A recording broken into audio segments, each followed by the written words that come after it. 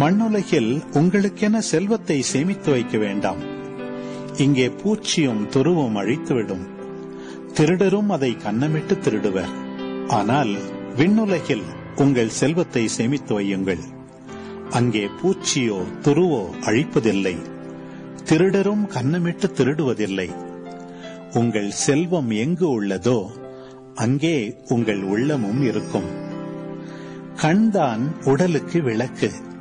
கண் நலமாயிருந்தால் உங்கள் உடல் முழுவதும் ஒளி பெற்றிருக்கும். அது கெட்டுப்போனால் உங்கள் உடல் முழுதும் இருளாயிருக்கும். ஆக உங்களுக்கு ஒளி தர வேண்டியது இருளாயிருந்தால் இருள் எப்படி இருக்கும்?